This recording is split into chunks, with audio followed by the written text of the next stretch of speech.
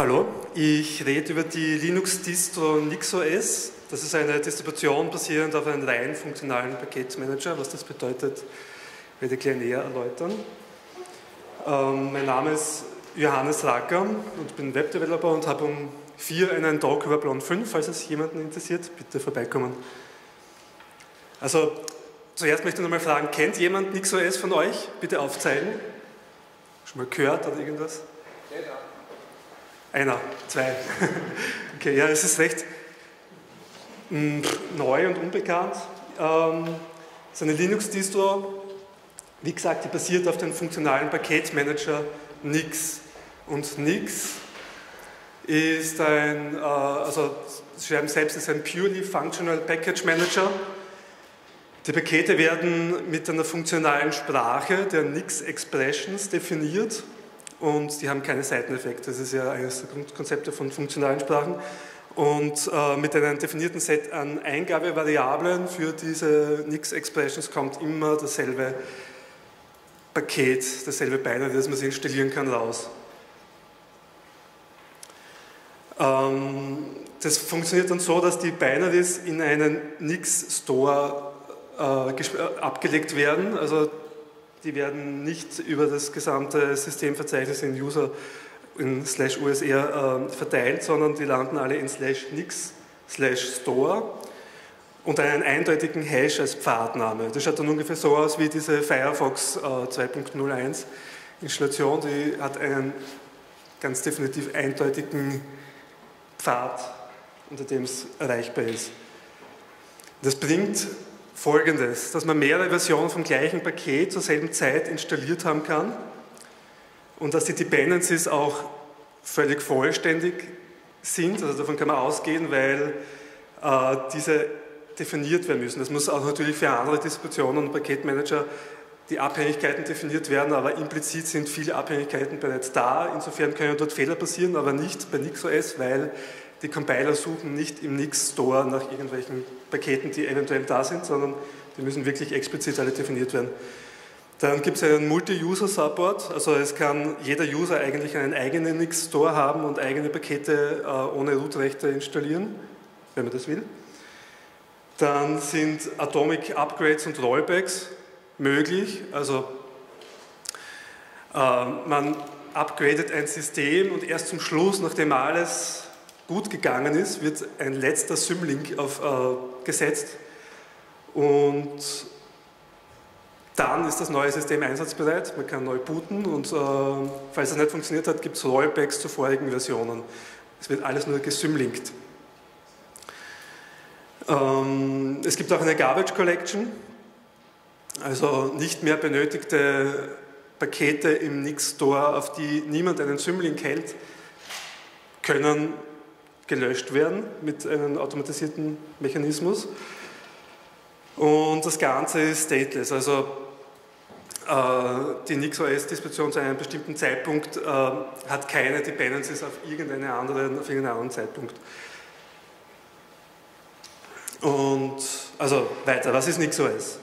Das weiß der Package Manager Nix. Und NixOS basiert eben auf Nix und hat ein deklaratives Systemkonfigurationsformat. Ähm, das zeige ich dann in der nächsten Folie her, wie, so eine, wie meine Beispiel NixOS-Config ähm, aussieht. Dann kann man damit äh, wiederholbare Deployments und Rollouts machen, eben weil man immer davon ausgehen kann, dass immer dasselbe Ergebnis erzielt werden kann. Und die Upgrades durch den Paketmanager Nix sind, äh, sind, sind, sind reliable, also die funktionieren. Sie sind atomic. Es gibt Rollbacks. Diese Features alle, die durch den Nix Package Manager bereitgestellt werden.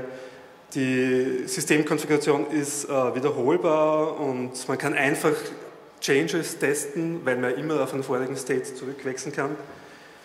Das Ganze ist ein, äh, also die Nix-Packages sind Source Definitions, also solche Nix-Expressions und daraus kann man beinahe das äh, bilden, also machen lassen, auch von einem automatisierten Bildsystem,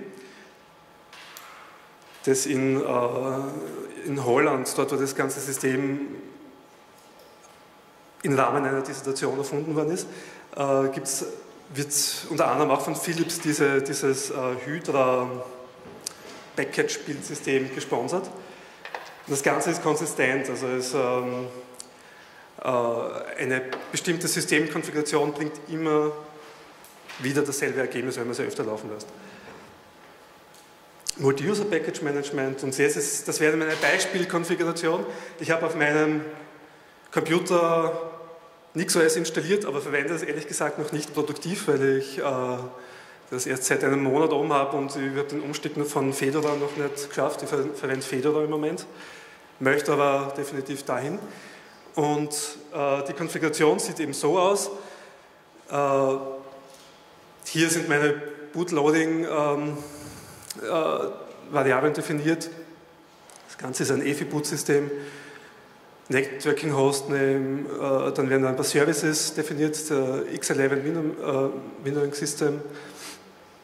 Synaptics wird enabled. Also die Konfiguration sieht in dieser, so in dieser Art aus. Es muss natürlich für jedes Programm und jede Funktion, die, die man konfigurieren möchte, über diesen Weg muss es natürlich, äh, muss es natürlich einen Mechanismus geben, dass man das ähm, auch so äh, konfigurieren kann.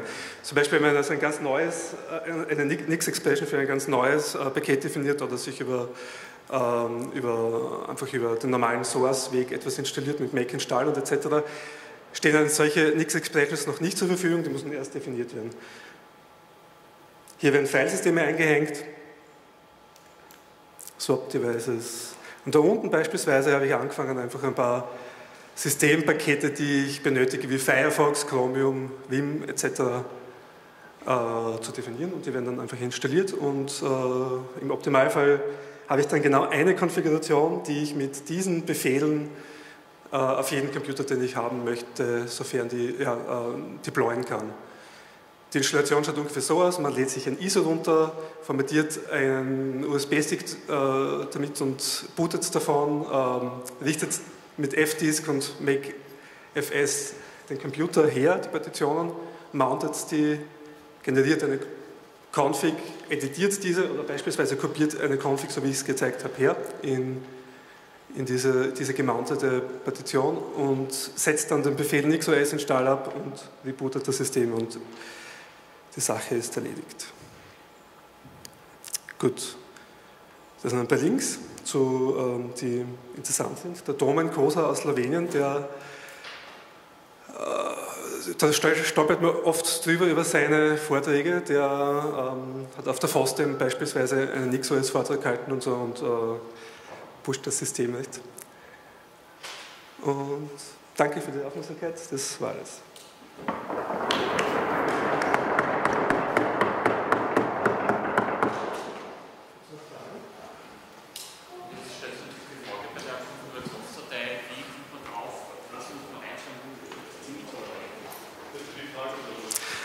Ähm, bei der Konfigurationszeit, wie kommt man drauf, damit man das bestimmte, ein bestimmtes Ziel erreichen kann?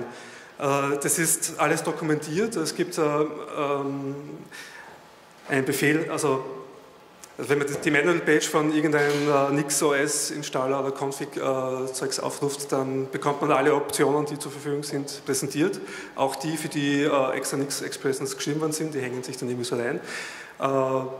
Äh, Vielleicht merkt ihr, dass ich nicht ganz firm bin mit dem System, eben ich habe es gerade erst installiert, äh, aber im Prinzip ist das alles dokumentiert und so findet man raus, wie man bestimmte Ziele erreichen kann ja, über Manual Pages. Ist das dokumentiert?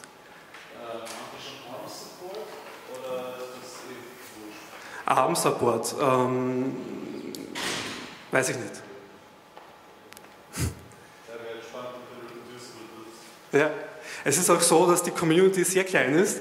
Ähm, äh, auf diesen GitHub NixOS ähm, Repositor, ähm, Organisation, dort sind ungefähr 20, 30 Leute, haben dort, äh, sind dort Mitglieder.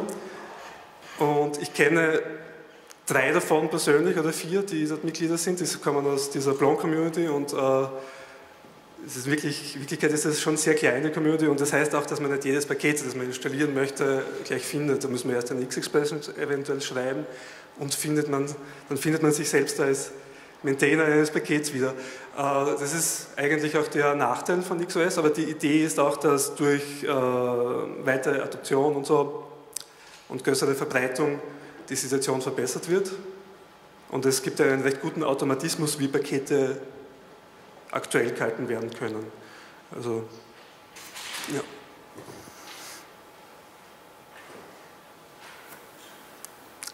Okay, danke.